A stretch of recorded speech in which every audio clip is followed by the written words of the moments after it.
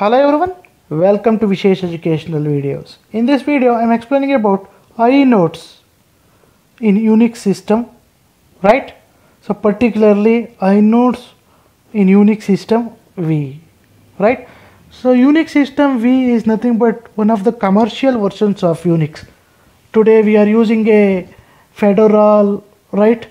Red Hat, right? So those are the different versions of Unix, right? So system is also a one of the uh, first versions, commercial versions of a Unix operating system, right? So in this video, I'm going to discuss the inodes, right? So if you are not subscribed to my channel, please subscribe to my channel. And to get the notification of my new videos, please click the bell icon. Please don't forget to like the video and please don't forget to share the video with your friends. Let me begin the explanation of inodes. So even today the different uh, versions are using the same concept that are used in Unix system V. Unix system V is one of the uh, first commercial version of a Unix operating system. So in Unix system V, so a file system in Unix file system we have a inode table. So what it does?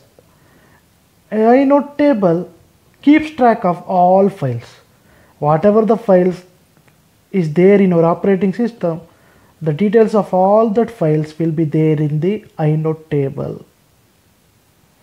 So each entry of the inode table is a inode record. This inode table contains the inode record. This inode record contains all the attributes of a file. I told you it will contain the details of all the files, right? So if I take a one entry, one entry will be there for one file, right? So that particular uh, record will contain all the attributes of a file, including the inode number, right? For every file there will be inode number. If you want to identify that particular file, you can use the inode number.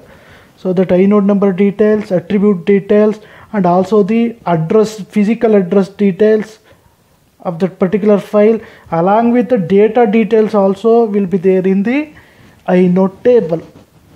In simple words, each and every pin-to-pin information of a particular file that is present in your OS will be there in your inode table. Just remember that not only the address, not only the inode number, not only the attribute, also the data that is present in that particular file the data details will also be stored in the inode table right? For example uh, if a kernel needs to access the information of a particular file with inode number 15 what it does means it will scan the inode table to find a entry which contains a inode number 15 right? In order to access the necessary data. For example if a kernel wants right wants to access the particular data of a file with inode number 15 it will scan that inode table to find out the entry 15 then it will take the necessary data. For example you can see here this is the sample directory file content. So you can see there uh, the file name xyz will have a inode number 201 so the inode number of a file name is what xyz is what? 201 along with that there will be additional details of attributes and also data details will also be there but it is not shown here. This is only sample uh, structure how your uh, inode numbers will be allocated to a particular file. So whenever kernel wants to access the contents of a particular file it will take the particular inode number it can access that file and it can access the contents that are inside the file also getting guys. Hope you're understanding. If you have any doubts please post your doubts in the comment section. Right?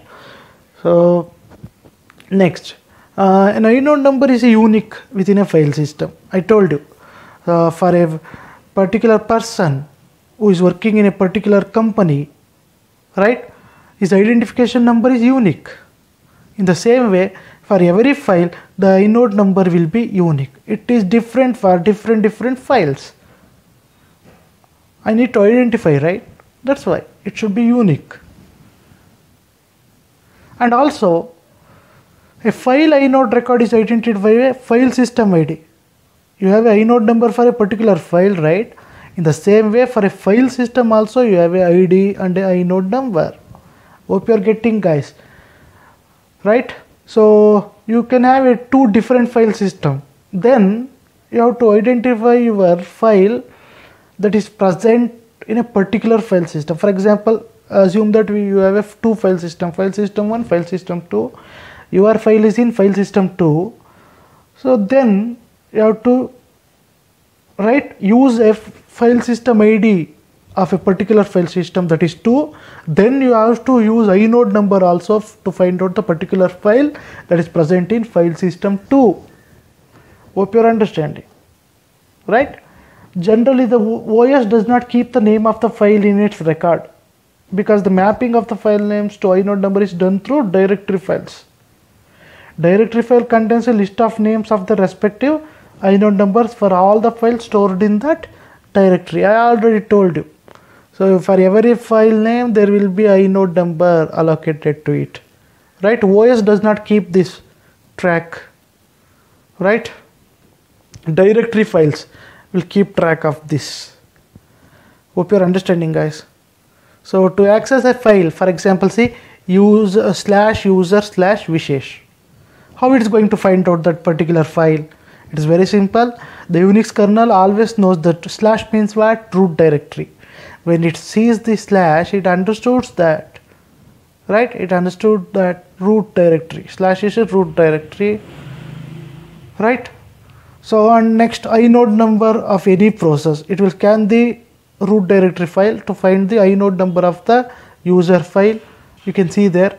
It will scan the slash directory to find out the inode number of the user file. Once it gets the user file inode number it accesses the contents of the user file it then looks for the inode number of a vishesh file. Hope you're understanding.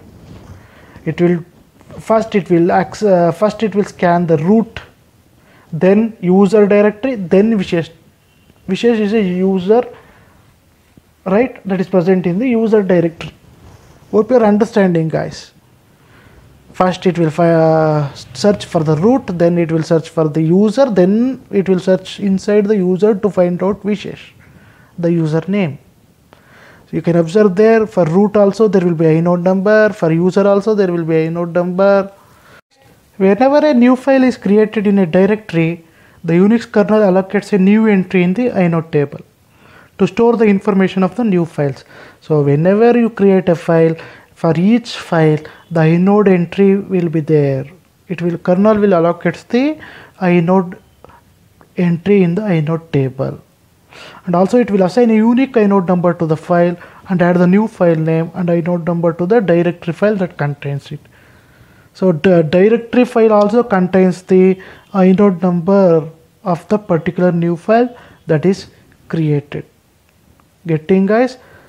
Hope you are understanding the concepts. Suppose if you have any doubts, please post your doubts in the comment section. Thank you. Thank you for watching the video.